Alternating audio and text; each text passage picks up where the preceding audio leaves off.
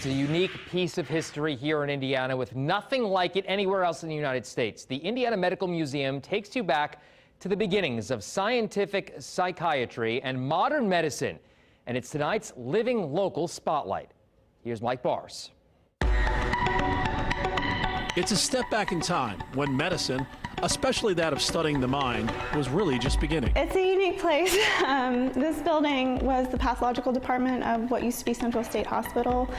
The hospital opened in 1848 as the Indiana Hospital for the Insane, and it was the first mental hospital in Indiana. The original 160 acre grounds once housed over 2,500 mental health patients with dining rooms, storage facilities, laundry buildings, and offices. All that really stands today is the original pathology building. Slated for demolition after they closed in 1968, they were able to salvage the building to preserve an important piece of history. There's nothing else like this in the United States. It's authentic in that sense.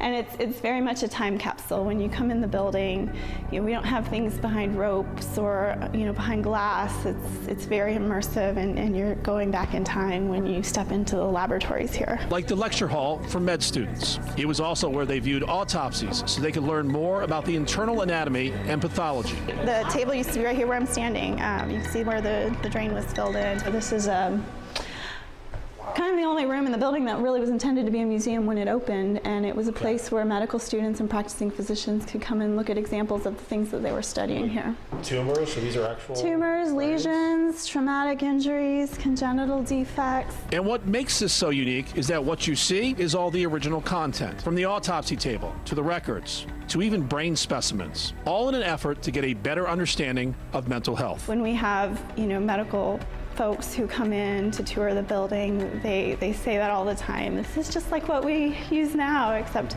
you know, we plug it into the wall and it does the work for us. An important step back in the past to shine light on the future. I'm a historian, not, not a psychiatrist, but I think we all recognize that even though we've, we've come a long way, we have a long way to go.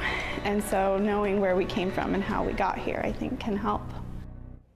Fascinating stuff. That was Mike Bars reporting. The museum could use your help. They have a capital campaign going on to raise money in the hopes of keeping the building up. Uh, for more information, visit our website, wishtv.com.